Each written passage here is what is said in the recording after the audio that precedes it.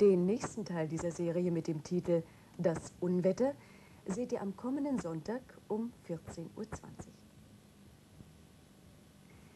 Verehrte Zuschauer, zum heutigen 80. Geburtstag des Schauspielers Heinz Rühmann zeigen wir Ihnen jetzt einen seiner frühesten heiteren Filme, den 1931 entstandenen Stolz der dritten Kompanie.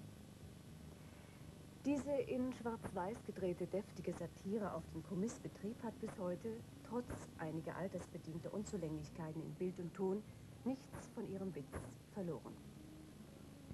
Der Stolz der dritten Kompanie wurde wegen seiner Veralberung des Uniformkults nach 1933 verboten. Neben Heinz Rühmann sehen Sie in weiteren Rollen Adolf Wohlbrück, Fritz Kampers, Viktor de Kover und Rudolf Platte.